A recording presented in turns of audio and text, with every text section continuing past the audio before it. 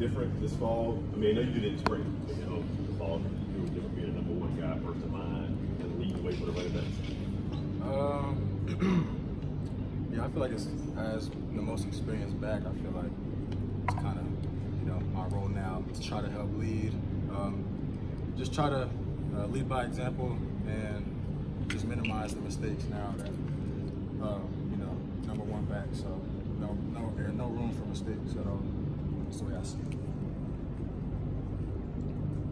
You know, there's a lot of talk last year about what happened to the running game late in the season. I mean, obviously Devin got hot, but I mean, you still have Emery, you have here and there have some pretty good moments, but you had a chance to watch, but you still played some. But Yeah. watching, did you kind of watch from outside, like, hey, this is what we could have done differently, this is what we did well, this is what we can work on. It was a different advantage for watching it now, getting that role, and seeing what you guys can move on. The way I was looking at it is like when I'm watching them, um, I'm just trying to learn, you know, from the mistakes they made, and whenever it's my turn to go out there, I just got to be way better.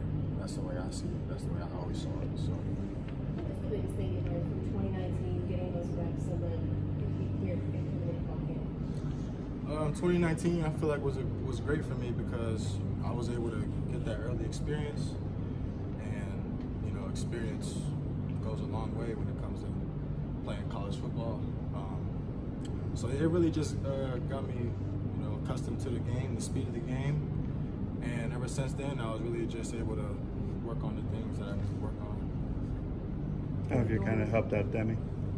Demie, uh, yeah, whenever Demie first got here, I was trying to help him learn the plays as fast as as fast as he could. But I mean, he he learns it pretty quick, so you know he's pretty he's pretty good. How are you guys similar? How are you guys different? Me and Demie, Yeah. I say me and Demie were similar because I feel like we both we both know how to maneuver. Like we both know how to weave. We both you know know how to get in and out the gaps.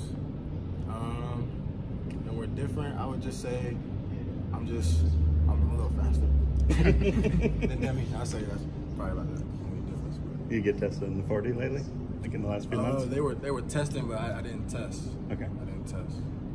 How big is it having Chandler back uh, up front on the offensive line? Yeah, I was I was really excited um, with Chandler because I remember during the whole process, I, I was always I was always asking him. I was like, I was like, did they say anything? Like, did they say anything? And he's like, man, well, next week, next week, next week. So my hope kind of got low because he just kept saying, oh, like the next week.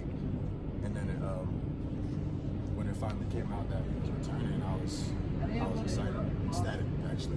What, is, what does he bring to the running game? Big physical guy like Chandler.